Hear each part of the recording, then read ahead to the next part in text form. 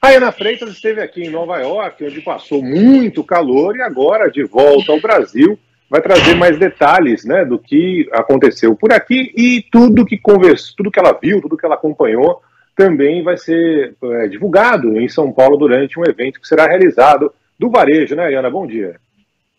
Bom dia, Barão. Bom dia, Carlos, ouvintes do Band News Station. Nem passei tanto calor assim, ou frio, né? Eu achei que ia pegar aquela nevasca e tal. Não, não rolou. Só uma, uma leve, tipo uma garoa, assim, sei lá. Mas foi bonito, foi Tá menosprezando, hein, Ayana? Olha só, quem não, te não, viu e quem te vê, hein? Não, não, fiquei feliz, é que eu queria realmente passar um perrengue, assim, sabe? Tipo, você aí, que já tá raiz, não vai aqui no raiz, mas não passei. Mas foi bastante, bastante legal de qualquer forma, claro. E é isso, né? Amanhã a gente vai. Eh, tem um evento aqui em São Paulo para trazer tudo que foi apresentado aí na NRF de 2022, que é a maior feira de varejo de, de consumo do mundo, né? É, é o Retail Trends pós-NRF. É um evento tão tradicional aqui, várias empresas fazem aqui o pós-NRF justamente para trazer, para quem não foi para Nova York, quem não teve oportunidade, ainda mais esse ano que muita gente não foi por causa da, da Covid, da variante e tudo mais, né? É, trazer para cá o que, que aconteceu, o que, que foi mostrado em Nova York e o que pode ser traduzido, digamos assim, é, não só literalmente do inglês para o português, mas na prática para quem opera aqui, né? Esse evento vai ser amanhã no Teatro Santander em São Paulo, mas vai ser presencial virtual também, e vai ter presença de nomes como Abílio Diniz, Luísa Trajano, o ministro Fábio Faria vai falar de tecnologia 5G, que deve impactar muito aí também o consumo e o varejo, além de especialistas em varejo e consumo que estiveram presencialmente, como eu disse, na, na feira, né?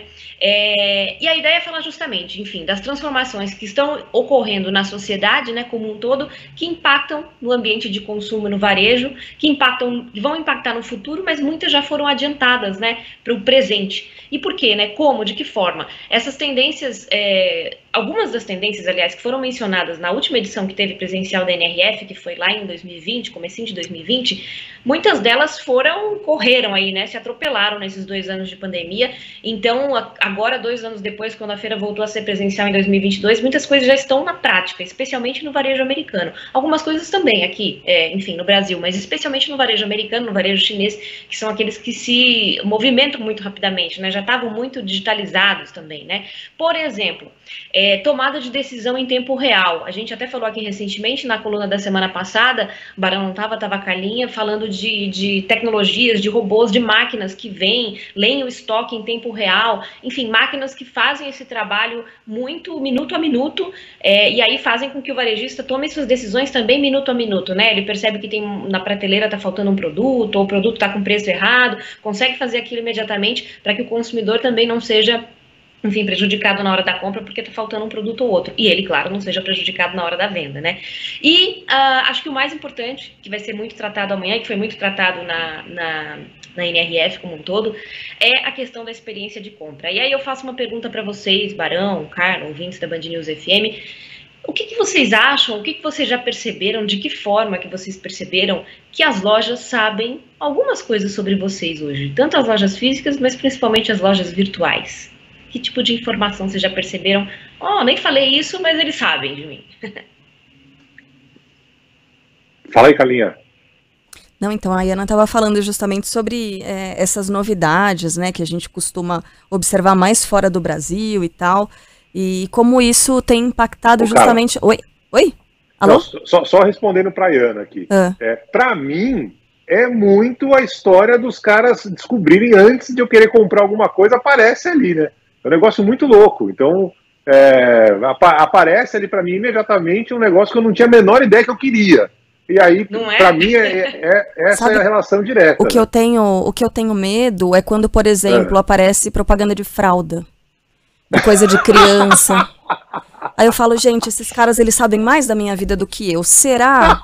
É, acontece. Não é? Mas aí eu acho que tem é. a ver com aí assim. Você vai fazer o teste, Calinha, você vê o teste, tá tudo bem? Não, tá, Sei tá, tudo bem, por enquanto. Então, não, mas aí é, é, claro que assim, é um cálculo muito mais complexo. Porque, por exemplo, é, muitos amigos meus estão nessa idade de ter filho e tudo mais, você acaba se relacionando com essas pessoas. Eu imagino que seja isso, né? Espero. É, até tenho amigos que, né, Carla? É. Não tenho nada contra, até tenho amigos que. Mas segundo o Barão aí, ó, o Barão já tem uma teoria. Ele tá sabendo de você, eles estão sabendo de você antes de você mesmo saber. Então, uhum. fica ligado aí nos seus desejos de consumo, né?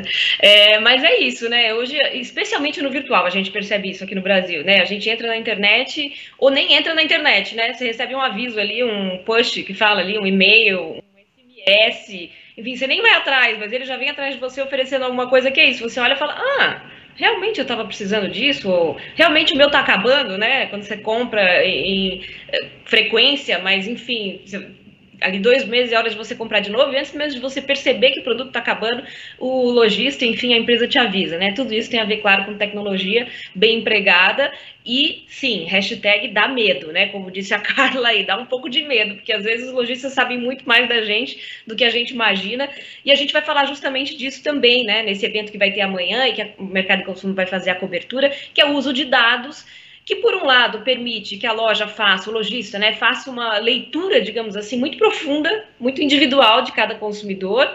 A gente falou, inclusive, aqui na semana passada das lojas dos Estados Unidos, que é dificilmente você entra numa loja, pelo menos de um grande varejista, que não tem uma câmerazinha te filmando ali em cima para saber quantas pessoas estão dentro da loja, em que lugar a loja tem mais gente, em que lugar tem menos gente, enfim, isso é muito comum.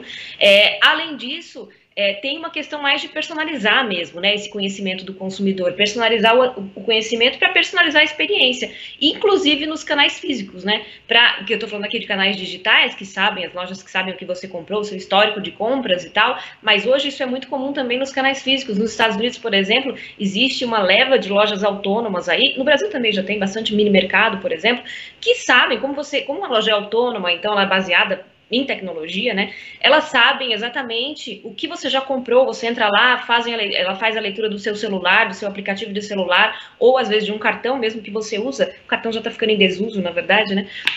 Muitas vezes é pelo aplicativo de celular. Quando você entra na loja, a loja já é capaz de dizer, bom, você veio aqui a semana passada, comprou tal coisa e tal coisa, talvez você queira um vinho para acompanhar alguma coisa, enfim, sugere alguma coisa para você, né? Essa personalização é a tendência cada vez mais forte no varejo e aí, como eu disse, não só no digital, que isso a gente já está acostumado, assusta, mas a gente já está acostumado, mas também no físico. Lembrando, claro, que cada país no Brasil, a gente tem a Lei Geral de Proteção de Dados, na Europa tem sua lei também, Estados Unidos tem suas leis também, é, cada país seguindo a sua regulamentação, mas, no geral, a gente acaba topando alguma coisa, especialmente topando alguma coisa, eu digo, de dar dados, né, fornecer dados, permitir que as lojas tenham acesso aos nossos dados, contanto que a gente tenha algo em troca, que é essa personalização, essa conveniência, essa oferta, às vezes um preço mais baixo, enfim, pela sua fidelização, enfim, todas essas tecnologias vêm aí transformando a forma como a gente é, lida com o varejo, lida com o consumo,